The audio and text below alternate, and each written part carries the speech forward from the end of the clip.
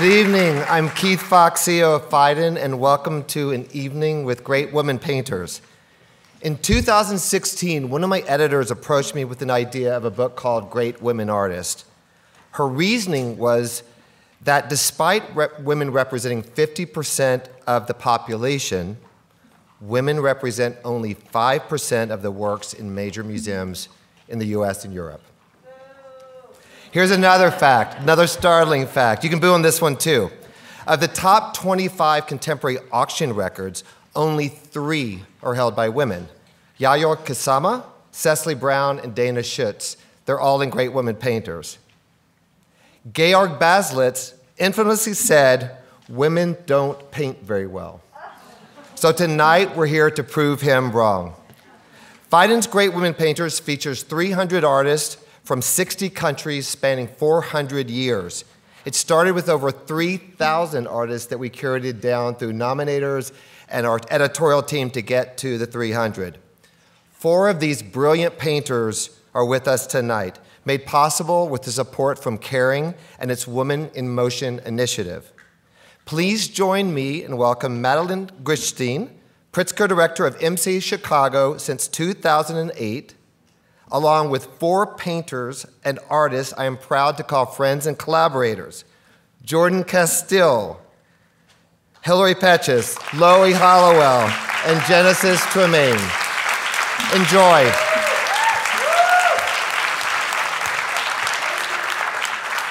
Hi, everybody. Can everybody hear me? Yeah. Hi, welcome to the MCA tonight. Thank you so much for being here. And thank you, Keith, for that introduction and for choosing the MCA. Uh, at the location and the beneficiary of your largesse. So we are so, so appreciative of you and Phaidon. And thank you all very, very much for being here tonight. It's great to see you. Um, it is still early days post-COVID, and every time we gather these days, I, I, get a, I get feelings. It's really nice. So thank you for being here.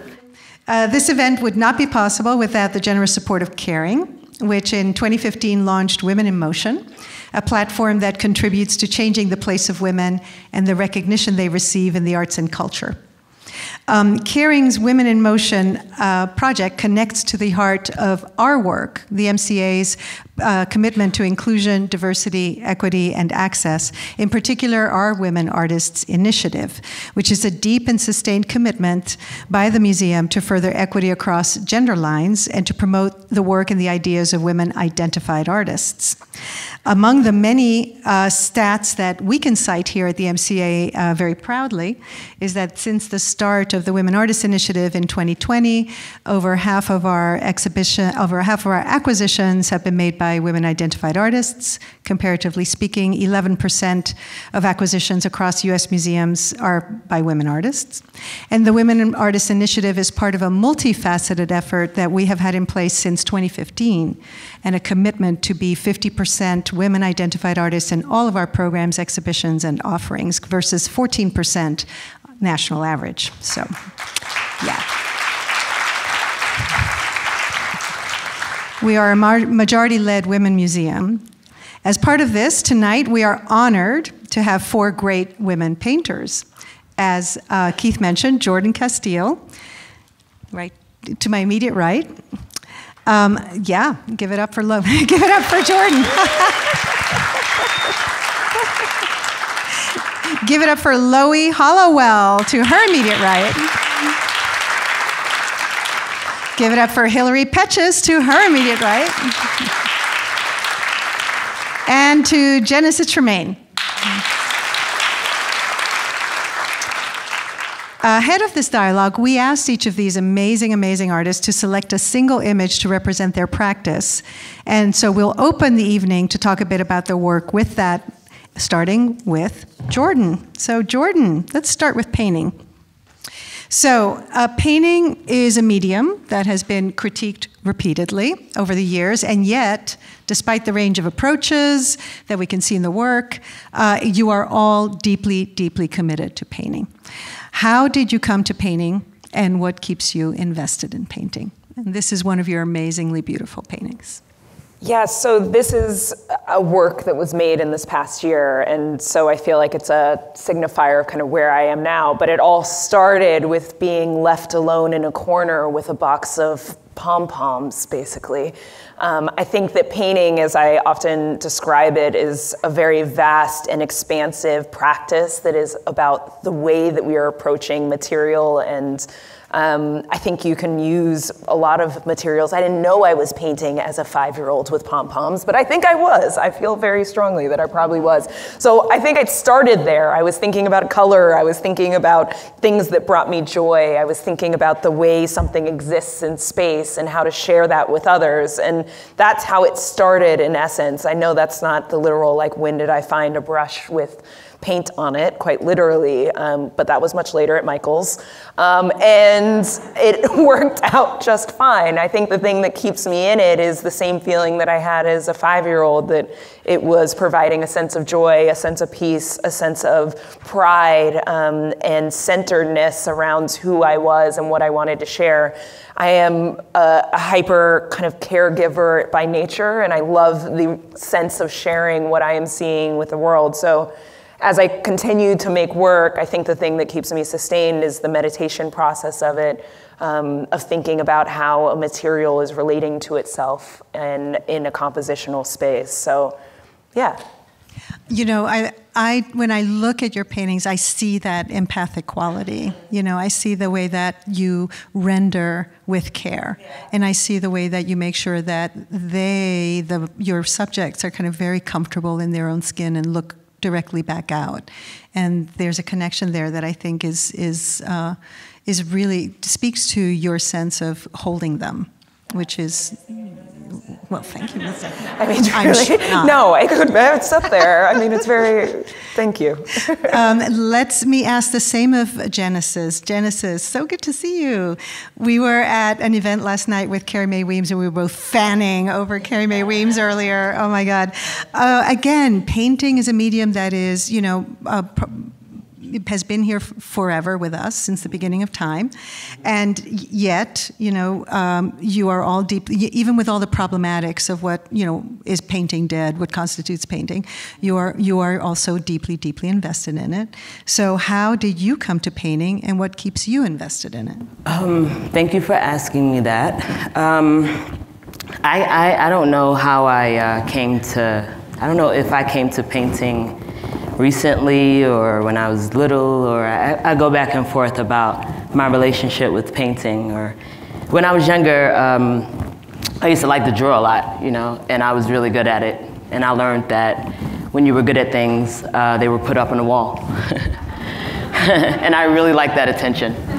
Um, and I also learned that um, if I added color to my drawings, um, um uh, the rest of my family members sort of noticed things, you know? I, the, the, attention was something that I, I craved very young. And the, the, the drawing, the skill of drawing, got it. And my Nana taught me how to make uh, what we call putty, what you would call pigment of a sort, paint, perhaps. And then I got really, really good.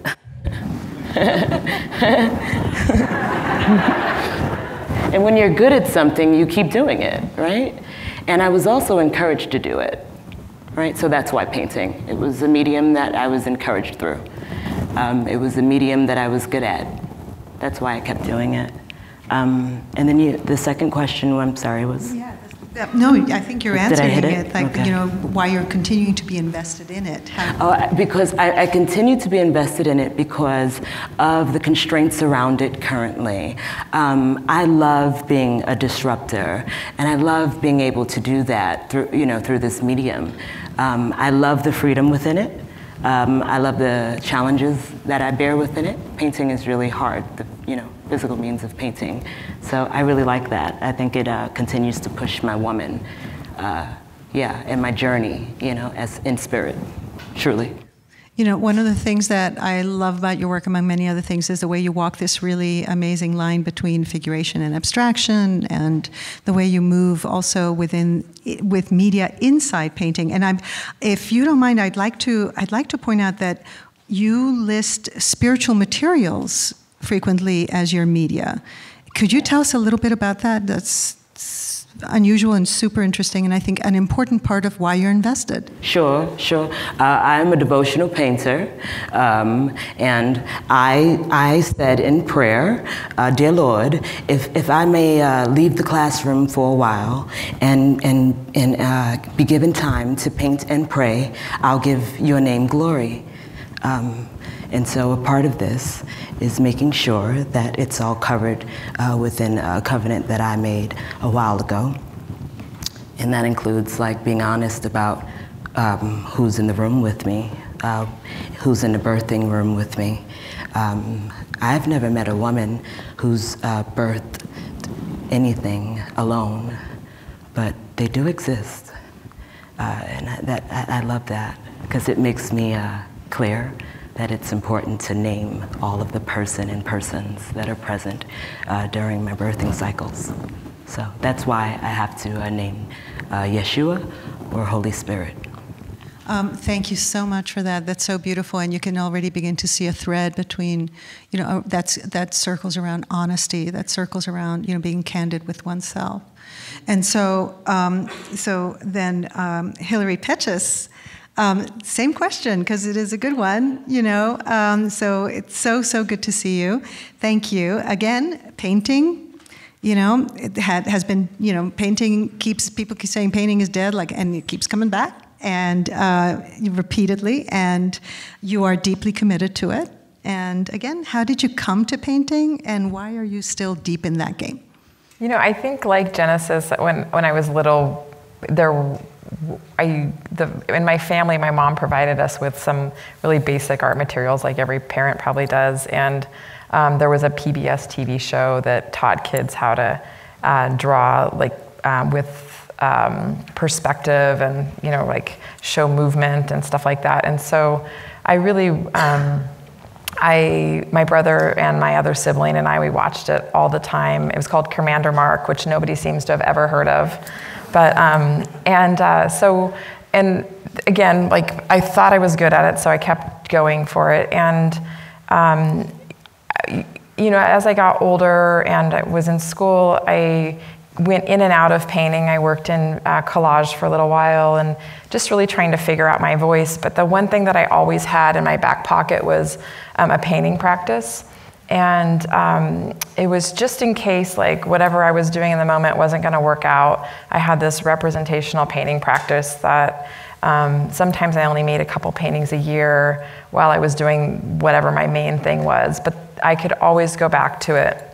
And part of the exciting thing to me about painting is that it, even though it really is paint on a surface, like there's, it's two dimensional, there's, there are limitations it always feels to me like there's like endless possibilities. Even if you're given the same you know object to paint over and over it will never be the same. And it's just always this practice of somehow um, trying to work through problems to get to the place that you want. And usually that never occurs. Like i never end up with a finished painting the way I imagine it. And so there's this magic that happens with every single painting. And in the paintings that that doesn't happen, it's usually because I'm having to do something I don't want to do. And I, you know, I'm like, okay, we're just going to quickly make a painting. And those are the paintings I don't like, you know, but with every, with the paintings that I do want to make, there's always a, um, something that happens, occurs, there's errors that I have to work through that um, end up making there's something special and for lack of a better word it, there's like magic there.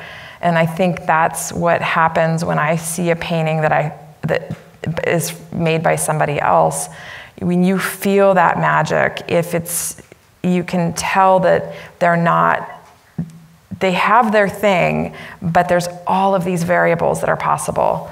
And um, so i um, I think that it just, you know, like there's, it's the magic that makes it, me keep coming back. Yeah, you're absolutely right. It is. It is you. Each of you create these extraordinary, extraordinary worlds. You stand out among this group in the sense that um, your work is not figurative and and and yet highly representational. Uh, but the figure the figure is absent, and oftentimes take these landscapes are based in California, and yet when I see them. I see you looking at these. So the figure is absent, but you're looking at them. How, how, how do you pull that off? I can tell you're there. well, you, know, you don't absent yourself. Yeah, I mean, I'm oftentimes it's coming from a vantage point where there's like a trail or there's a presence um, there. So I think probably that's that might be why. Yeah. Um, and did I do we have a picture? Do we have a picture for, for Loie Hollowell? Yes, excellent. Loie, hello. Same question. So, painting, how did you start and why are you still in it? Oh my gosh, how did I start? Um, so, my dad is a painter. He taught painting at uh, UC Davis my whole life. He retired recently. Um, so, none of the none of my siblings are artists, but I'm I'm the oldest, and I think I really wanted to impress him. So I got a little closet and all of his oil some oil paints in my house, and I just started painting at a really young age, and. Um, I think that it's been a journey over the years to move away from his, his painting, which is a male painter. He painted my mom in the nude or in leotards often. So it was like a very kind of, uh, it was a search, a search for me to figure out who I wanted to be as an artist. So um, my gender, my femininity has always been at the forefront of my practice. And at first, it was kind of like to fight against him and to, and to like, I don't know, show that there was another way. And because all the painters I, had, I saw growing up were like Vermeer, Piero della Francesca, Rothko. Um, and so it's just been like a journey of like discovering my femaleness, my body through paint.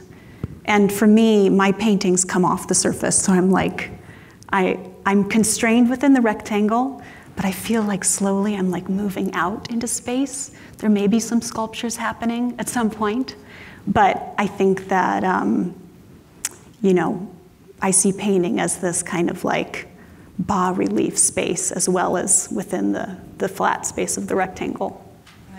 Wow, I'm so glad that you brought up how your paintings are actually reliefs because it's hard to tell in a slide. But I, I was at the Hirshhorn on Tuesday, the Hirshhorn Museum in Washington, D.C., and I saw one of your paintings. And it, it, when you look at it from the side, it has real three-dimensional bodily presence. It is so in this painting, the belly, the belly yeah, is yeah. a cast, and it's actually the cast of my director, who's right over there, Ben Strauss Malcolm's wife, when she was three months pregnant. Right. And now it's on the surface of the painting. So these things actually really pop out. They have a kind of low relief element, and and I'm glad you brought that up too because um, you were looking, you are investigating, you know, um, what it is like in femininity, but all, but you know, pregnancy is is a topic that you go into with the body. The pregnant body is a topic that you go into, which is unusual. The female body, the topic of birth.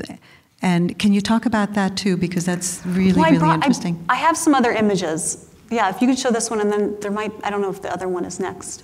There's a side view of the belly. Okay, so when I was, let's see, in 2014, I had an abortion. This was like, no one was talking about abortion. I had an abortion, like so many other women. Thank God, Planned Parenthood. Thank you, thank you. Um, and it was such an emotional, like joyful experience, but also physically painful that I had to make some paintings about it. And I was a figurative painter before this. So I was like looking at Burchfield and Agnes Pelton and Hilma af Klint and trying to like figure out how I could use abstraction to talk about my body. and and make it not not universal but more open, more open. And um, so uh, these were the first little paintings that are about this size, that were about my vagina and my uterus. And from then on, I just have kept, I, I just, it's like the female body just is like ever giving of content. I mean, it's just constant. and I've recently had kids, and uh, it's, I mean, I feel like I could make paintings about being pregnant and breastfeeding until I, you know, until I die. It's just like, it, I mean, your, your whole cellular structure changes after you're, you're pregnant and you give birth. So I don't know what, you know, whatever, menopause, that'll be a great experience to paint. Yeah, we'll talk about know? that later. Anyway, um, let's move on to the next question. Um, this wonderful, amazing, amazing book, which, by the way, up there you can buy autographed by these four incredible people. Um, so please do. This book is inspired by a celebrated essay from 1971 by the great feminist scholar Linda Nochlin. And she wrote an essay called Why Have There Been No Great Women Artists? Right? Picking up on that moment where the Guerrilla Girls were kind of um, parroting the kind of male wisdom that Georg Baselitz for some reason, you know, is walking around with thinking that, you know, painting, women can't paint, right? Um, and um, on the contrary, her essay showed that women have been there the whole time and are flourishing. So, going back in time to your early years and looking over the history of women painting, who were the women painters who were North Stars for the younger you? And I'll start with Loie. Do we have the uh, etchings? These are dry points from uh, Louise Bourgeois. Mm-hmm. So I think she was the first person I discovered away apart from my dad. And I think that she was just like blew my mind because she both had daddy issues. She kept her hair long. Um, she, what else? It, she would make art at the kitchen table. She made those personages at the kitchen table with her kids. Um, and I think you know one of the questions at the end is what, you, what is your advice for young artists? And it's drawing, drawing, drawing, drawing. I think the practice of drawing in whatever form that takes, etchings, drawing on your iPad, sketching in a notebook, even you know writing is all a form of drawing. And I think that's you know these early insomnia drawings, I'm also an insomniac. So I really relate to these insomnia drawings she made later in life. And um, yeah, I just, I'm lost track, but I just love, I love her. Louise Bourgeois, extraordinary artist, lived an incredibly long and fruitful life. Yeah and uh, you know surrealist, surrealist inflected, and um, also a fantastic writer and painter and draftsperson, yeah, yeah and all of and, and, great sculptor. So like you and on not the thought of as a painter, but there was a great show at the Met recently of her mm-hmm. paintings. That's right. We were and, talking about it in the back room also, um, just how she just keeps being like reinvented. You know, you yeah. can plug her into anything new, and she's done it. And she, it, it, everything that, like, all these different bodies of work she had are all feel so contemporary. Just really incredible. It's true. I think because her struggles are perennial, right? Uh, and that's why we're also sitting here.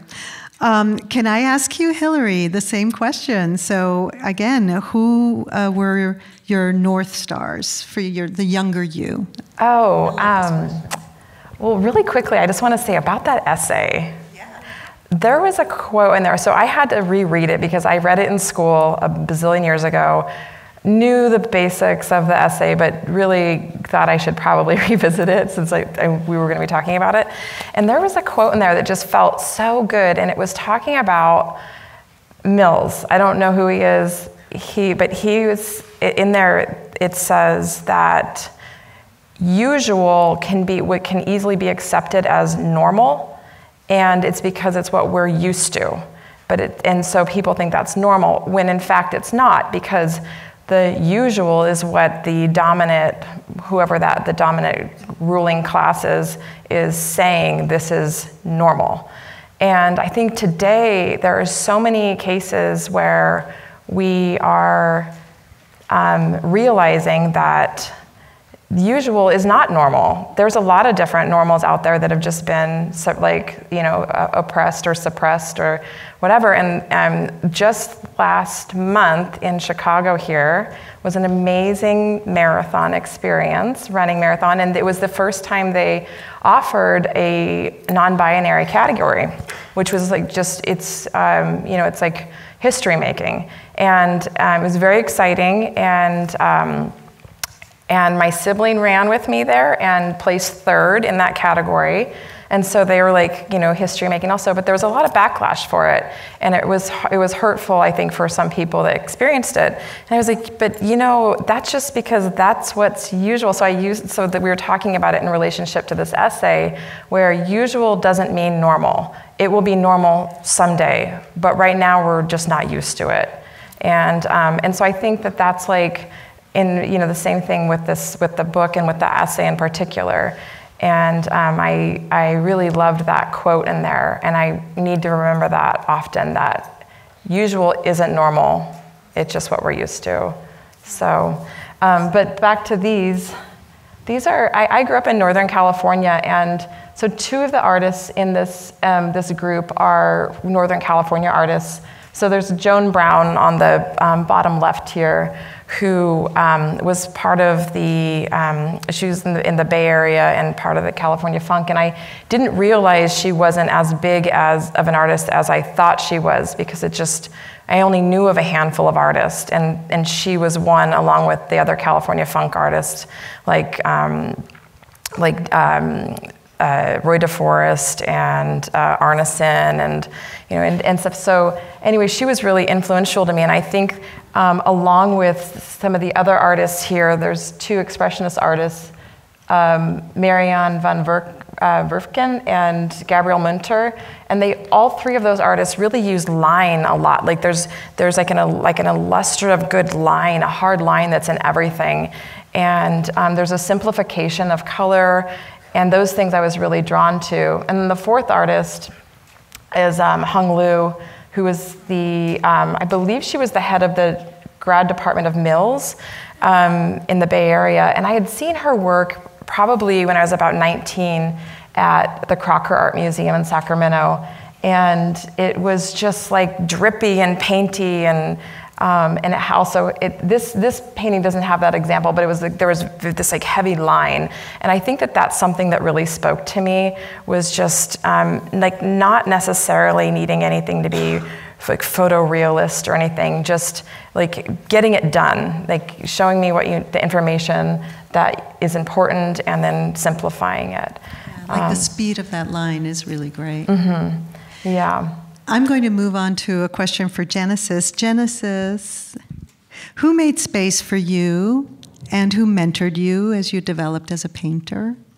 Who made space for me and who measured me? Who developed who you? Who developed me? A, yeah, yeah. As you developed as a painter. Sure. Who made who made space for you? Who mentored you? Sure, sure. Thank you for asking me that. That's a good question. Um, um, um, um I come from a very, very, I have a lot of support um, behind and around me, to God be glory.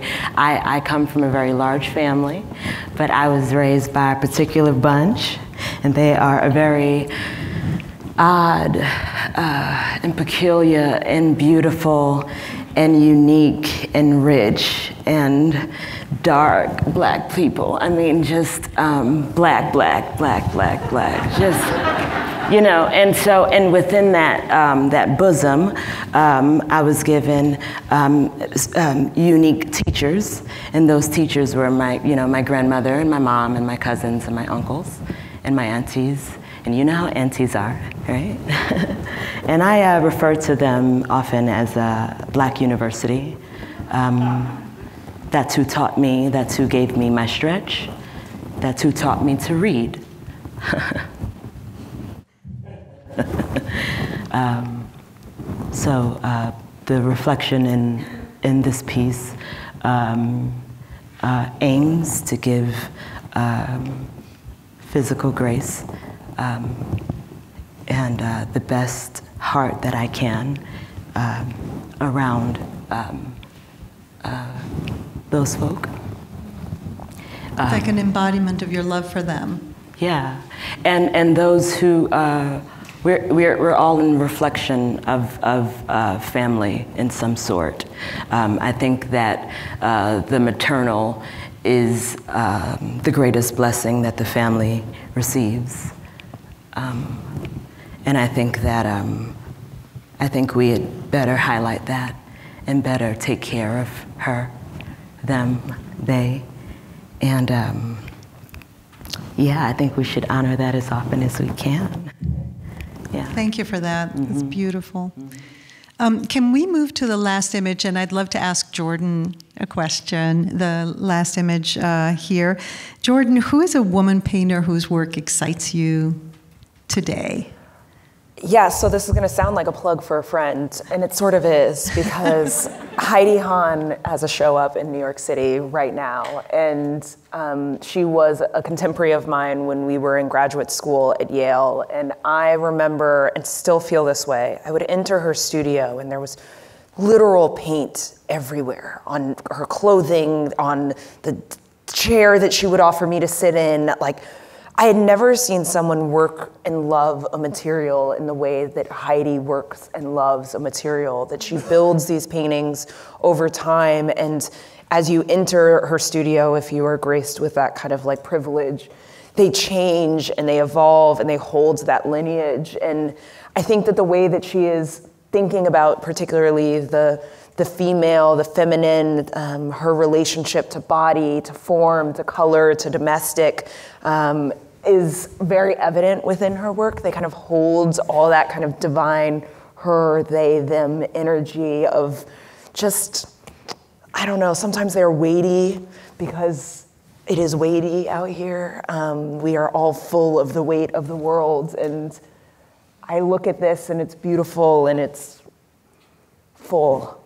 Um, her paintings really make me look and remind myself, remind me of like a fullness that painting can provide. Um, so yeah, she's somebody in this contemporary moment that I and have been thinking about for the past few years. Is every time I stand in front of my canvas and I feel like I can't anymore, Heidi's a person that I'm like, yes, I can. I do love this. you know, her love that this love can be evident, um, and she does it every time, even if it's a struggle, because it is always a struggle. Her, it's it, Nicole, Nicole, Nicole. I can't remember. Yes. Cassell? Beauchene. And Lower East Side. Yeah.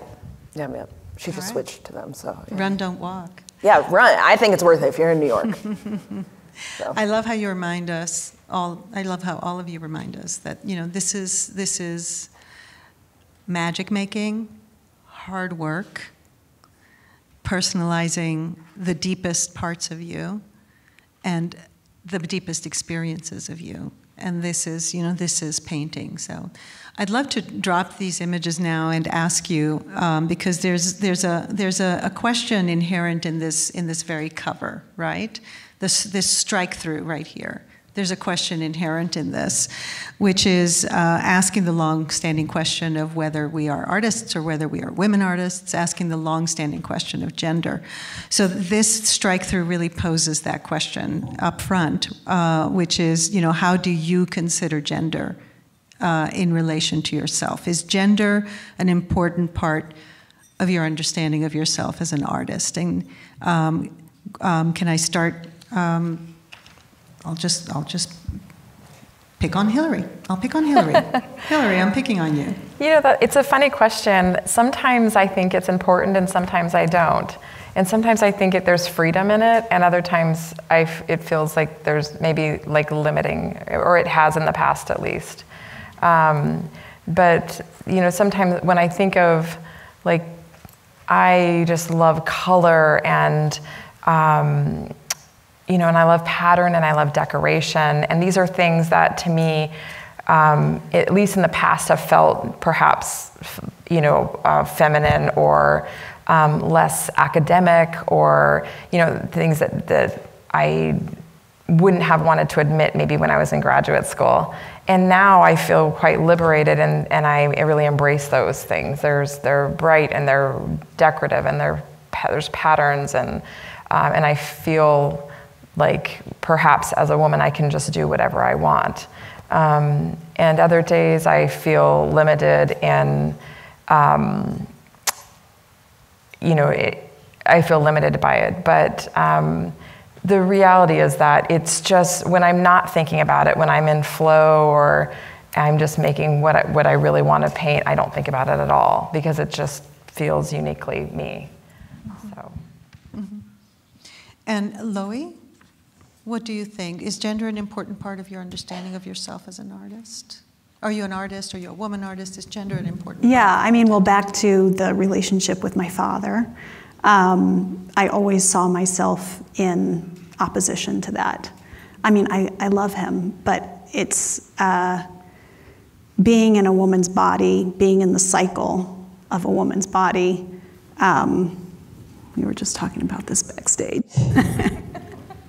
um, it's, uh, it presents challenges and joys, and uh, that comes into the studio. I mean, some, some weeks I just need chocolate in the studio all the time. And that's just present, and everyone in the studio knows that. Um, but uh, my work, I, I want to make work for everyone. So you don't have to be a woman or female identifying to enjoy my work, but it comes from my it comes from here. My work comes from here. Mm-hmm. So. I, I, mean, again, going back to the kind of low relief form, there's, there, is, there is an absolute material physicality to the work, not only in the way that it pops out, but also in its kind of rugged, rugged texture of how you, how you compose on the surface. That, so that, that swirling technique that I'll use a lot, I was thinking of pubic hair. That, that kind of came from pubic hair. And then I also, the, the stippling, I was also thinking of like how to hairify the canvas or hairify the texture. Oh, which brings um, me to um, people like Eva Hesse and, you know. Yeah, yeah, yeah, yeah, yeah, yeah. Yeah, yeah. That's, that's interesting. And Genesis, for you, is that is it important? Is gender an important part of your understanding of yourself as an artist? I think that um, being a woman is the absolute um, greatest gift that God has given me, truly. Um, I celebrate every single day that I am a black woman. I love being a woman. I paint because I'm a woman. I, I, I, celebrate being a woman. It's, it's a strength, it's a joy. Um, it's, you know, paint, painting for me is very much, we were, talk, we were just talking about birthing. Uh, it's organic to my spirit, body, soul, rhythm, you know, inkwell, right? So uh, I win there. I personally think I'm a stronger being because I'm a woman. so, yes, I think that uh, uh, I celebrate that. I brag about that. I brag about being a woman painter, truly. And I celebrate uh, my gender's presentation, right, as a woman painter today. Um, because I think it's very, very important. One of my favorite things about presenting as a woman painter is that I'm a part of this beautiful spectrum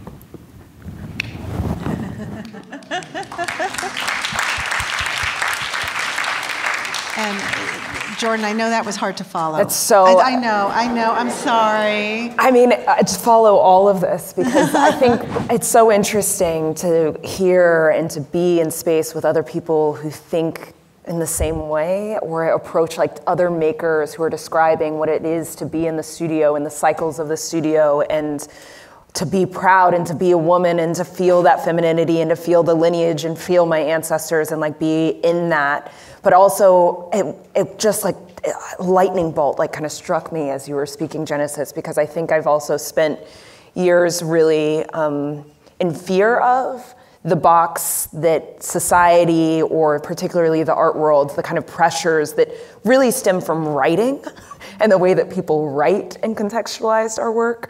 Um, it's often woman, black, all those things become almost like bad words because I, I often fear that they are they become a, a, mirror or a limiting factor in what it is that I'm actually thinking about when I'm painting, which is the color and the form, and that there are other makers who might not be woman identifying who don't have that as a beginning statement to who they, why they make work or whatever it might be.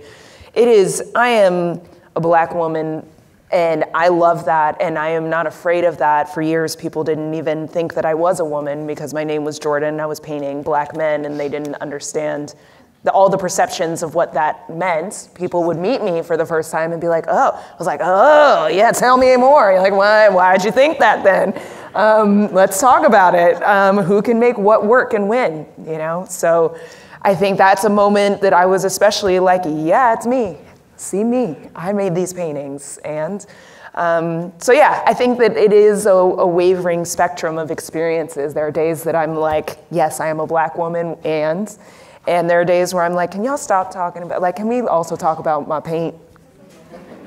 it would be nice if we could just talk about my use of paint. So, yeah, it doesn't, it doesn't always get there though. You know what's Who one can paint thing? what when? Yeah. Yeah. One thing that I think that is really interesting about most of the women that I know that are artists is that there's this like collective lifting that happens among friend groups or you know greater friend groups or whatever and i, I think that's i think that's some, a quality that typically is like uniquely female there doesn't seem to be as much of a race to the top it doesn't need to be this like one person at the top. There's just this collective weaving of a wider web of like lifting up. And I do think that is something like that, you know, when you look historically at women's groups, um, that has happened. And I think that happens in contemporary art circles as well. And I, I feel really lucky to be part of that. Last question for you guys um, lightning round um, advice for a young artist looking at your work, wanting to be with you, join this incredible trajectory of women artists? Anyone can go. Well, I had talked about drawing before, and I, I mean that. I really think that if you just have a sketchbook with you or a piece of paper of any kind and you're just drawing anything you see or any feelings you have, you're gonna if you if you're lost in some way if you're lost in your practice or you're lost in any way you're depressed i mean drawing will always ground you for me that's i found that and i i, I think that's true i don't know if you guys feel the same way about drawing I, think that like the one thing that probably sometimes you know all of us seem relatively young, and it, it's it, it, can sometimes seem like things happen very quickly, but it was a long, many, many years. It wasn't just the years in college and past that. It was all the years leading up to that of like of like having some sort of artistic practice and to just constantly challenging yourself and moving forward and know that even like the smallest after you have a baby, it's so hard to make work. But just like, you know, little things, just keep adding up and eventually you'll have got somewhere. And I think that that's something that I, I was, I thought once I graduated from school, I would have a career. And it, it took a lot longer than that. So just to keep working and, and, you know, it will, if, if nothing else, you'll have a more full, um, you know, studio practice.